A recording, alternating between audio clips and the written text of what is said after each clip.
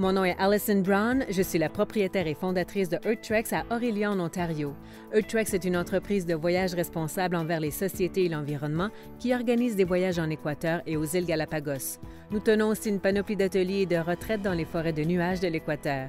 Le programme Community Futures a été une ressource très utile pour EarthTrex. Il a mis à disposition un programme de mentorat qui m'a permis de me mettre en relation avec des spécialistes de la mise en marché et des communications. Ses membres sont aussi disponibles pour tout ce qui implique de conseiller et guider une petite entreprise. J'ai pu tirer profit de plusieurs ateliers offerts comme une formation sur les réseaux sociaux qui sont tellement importants pour les petites entreprises de nos jours.